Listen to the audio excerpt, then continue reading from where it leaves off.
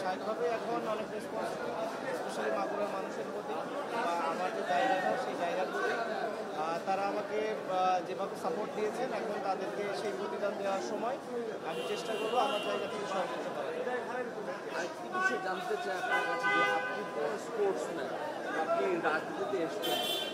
নির্বাচনের আগে প্রচারণা হচ্ছে যে খেলা হবে। এই খেলা হবেটা আসলে আপনি করবে দেখেন আমি এই ভাই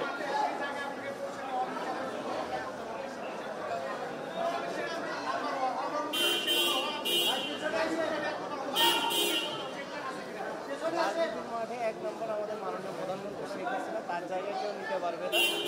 বা তার থেকে যদি আমি শিক্ষা নিয়ে কাজ করতে পারি আমার কাছে মনে হয় সেটাই আমার জন্য এনাফ। মাশরাফি বলেছে তার থেকে ভালো রাজনীতি যাবেন আপনি। ঠান্ডা মাথা আপনি সিদ্ধান্ত পাল্টান। অনেক দূর যাবেন আপনি মাশরাফি বলেছেন।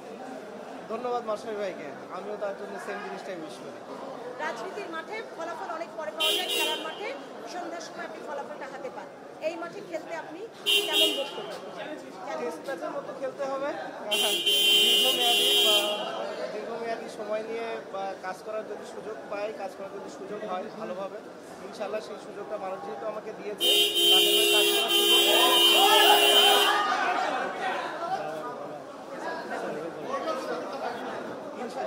ইনশাল্লাহ চেষ্টা করব আগে বললাম মানুষ যেটা ভালোবাসা দিয়েছে তার প্রতিদান দেওয়ার চেষ্টা করব।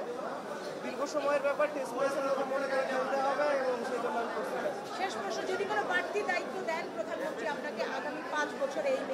আপনি সেটি কীভাবে দিবেন মাননীয় প্রধানমন্ত্রী যে কোনো দায়িত্ব যদি দেয়, সেটা আমি মানে গ্রহণ করতে প্রস্তুত আছি এবং আমি চেষ্টা করব তার যে কোনো ডিসিশনকে আমার সর্বোচ্চ দিয়ে সাপোর্ট করার এবং আমার জায়গা থেকে যা যা করা সম্ভব সেটা থ্যাংক ইউ